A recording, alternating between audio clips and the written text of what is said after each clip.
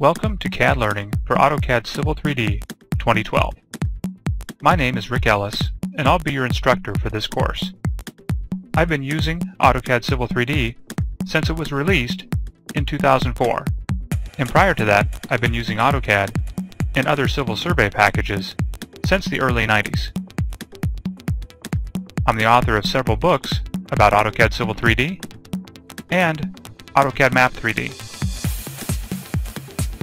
I've also been a presenter at Autodesk University and the AUGI CAD camps for a number of years, in addition to teaching hundreds of classes to organizations both large and small to help them get the most out of their investment in Civil 3D. This course has been divided into 18 chapters with over 160 lessons that includes over 15 hours of material. Of course, you can watch these lessons in any order you wish, the course content is very granular. Most lessons are 4 to 6 minutes in length, and they can be reordered so that you can watch them at any time in any sequence that you want. You can also use the course search tools to find individual lessons on specific topics that you're interested in. The course also includes the actual exercise files that are used in the various lessons, if you already have a copy of AutoCAD Civil 3D, you can open those exercise files and follow along, performing the same operations as I demonstrate them during the lesson. As I've mentioned, the course includes keyword search capabilities.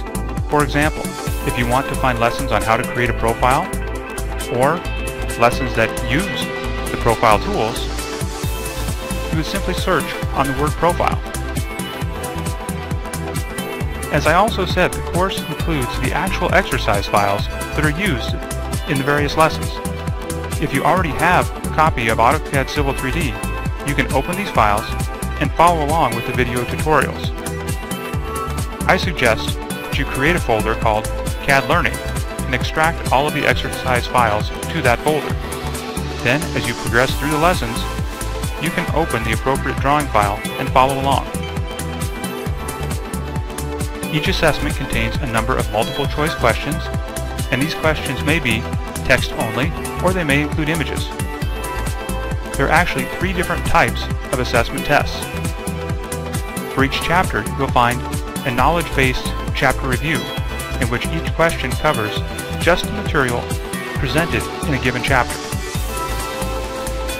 You'll also find a knowledge-based course review. The questions in this test cover the entire range of materials presented in the entire course. And we've provided a skills-based course review.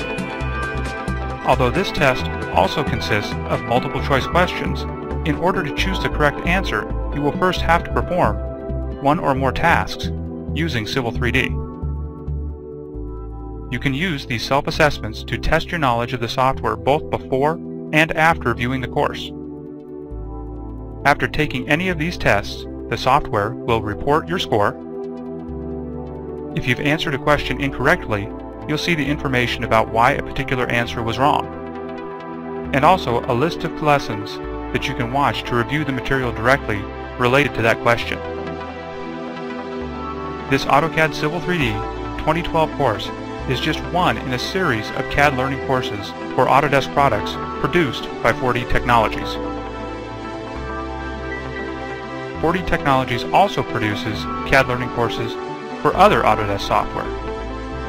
Since its inception in 2002, 4D Technologies has worked closely with Autodesk and industry experts to develop training materials that meet the needs of individuals and organizations in a wide variety of markets including education, architecture, engineering, construction, transportation, manufacturing, utilities, communication, and government. For more information about our other training products, please visit us online at cadlearning.com. I'm pleased and excited that you've joined us. I look forward to sharing my knowledge and experience with you. So let's get started.